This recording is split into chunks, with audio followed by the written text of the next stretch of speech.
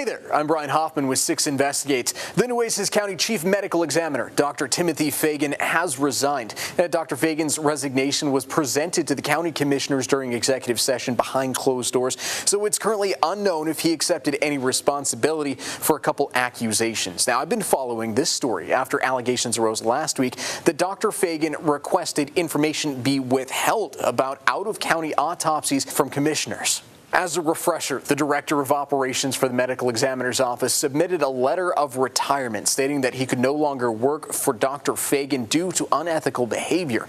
In the contract, Dr. Fagen was receiving 40% of the commission for out-of-county autopsies before any fees were assessed, and the county footing the bill and receiving the remainder and being responsible for it.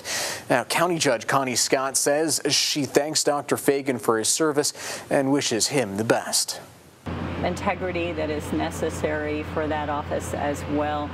Even the question of impropriety, I don't think he wanted to continue that way, and I think that our side as well. The county commissioners have now decided to suspend out-of-county autopsies after learning that county is not gaining any revenue from the surrounding 18 counties given the report that we received, it's really one of the things that we can maybe stop for a while and our, our focus and our priority and statutory requirement is on Nueces County. We have reached out to Dr. Fagen for comment but have not heard back. Deputy Chief Medical Examiner uh, Dr. Rajesh Kanan is now the interim Chief Medical Examiner. For 6 Investigates, Brian Hoffman.